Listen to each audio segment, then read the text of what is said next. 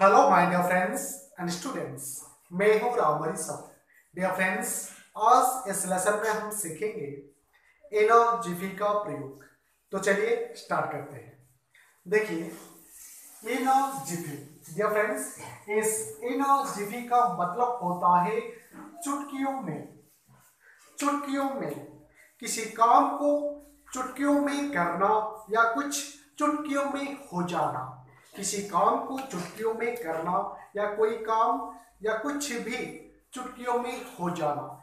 जब ऐसी सिचुएशन आती है, तब इस एनर्जी का प्रयोग होता है। आई होप आपको समझ में आया होगा।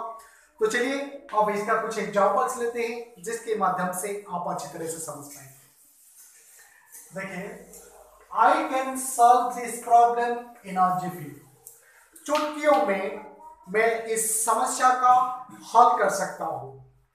चुटकियों में मैं इस समस्या का हल कर सकता हूँ। ओके तो चलिए और एक एग्ज़ाम्पल देखते हैं। Everything will be all right in jiffy चुटकियों में सब कुछ ठीक हो जाएगा। चुटकियों में सब कुछ ठीक हो जाएगा। ओके तो चलिए और एक देखते हैं।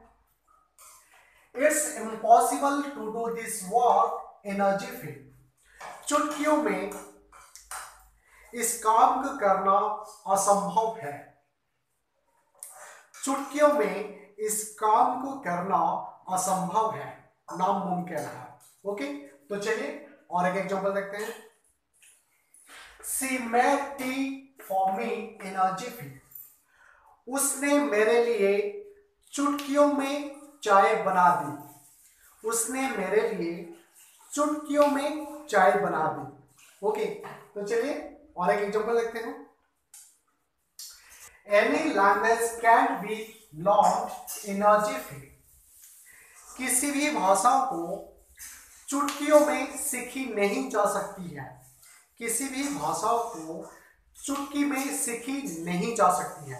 ओके तो चलिए और एक एग्ज़ाम्पल देखते हैं। He can defeat you in a jiffy वह तुम्हें चुटकियों में हरा सकता है। वह तुम्हें चुटकियों में हरा सकता है। ओके तो चलिए और एक एग्जांपल देखते हैं। We got ready for the party in a jiffy चुटकियों में हम पार्टी के लिए तैयार हो गए। चुटकियों में हम पार्टी के लिए तैयार हो गए। ओके यानी कि विदाउट डिले ओके तो चलिए इस लेसन का लास्ट वन देखते हैं। Just see how I finish it in a बस देखो, चुटकियों में मैं कैसे इसको खत्म करता हूँ। बस देखो, चुटकियों में मैं कैसे इसको खत्म करता हूँ। ओके सो फ्रेंड्स ये था एनर्जी का प्रयोग। चुटकियों में किसी काम को करना या चुटकियों में कुछ हो जाना के अर्थ में। आई होप कि आपको समझ में आया होगा। सो so फ्रेंड्स आप चाहे तो इसका स्क्रीनशॉट ले सकते हैं, मैं स्टार्ट हो हूँ।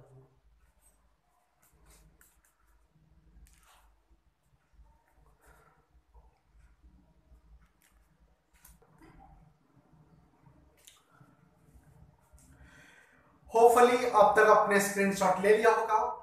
सो फ्रेंड्स आई होप कि इस एनर्जी का प्रयोग आपको अच्छी तरह से समझ में आया होगा। अगर समझ में आया हो तो सबसे पहले आप इसका प्रैक्टिस करें। प्रैक्टिस बहुत ही ज़रूरत है और जब इसकी सिचुएशन आए, प्रयोग करें। Okay so friends I hope कि ये वीडियो आपको अच्छी लगी होगी। अगर अच्छी लगी हो तो प्लीज़ इस वीडियो को एक लाइक करें और कमेंट भी करें वीडियो कैसी लगी। और जो भी आपकी तरह इंग्लिश सीखने में इंटरेस्टेड है, उनके साथ इस वीडियो को ज़्यादा से ज़्यादा शेयर करें। और अगर अभी तक हमारे इस चैनल को सब्सक्राइब नहीं किया है तो प्लीज़ अभी इसी वक्त इस चैनल को सब्सक्राइब करें और सब्सक्राइब के पास जो बेल के आइकन है, उस बेल के आइकन को प्रेस करें, ताकि आने वाली हमारी हर वीडियोस की नोटिफिकेशन सबसे पहले आपको मिलते रहे। ओके सो माय फ्रेंड्स आज के लिए इतना। फिर मिलेंगे अगले लेसन में। Thank you thank you for watching this video keep watching my videos and keep learning English thank you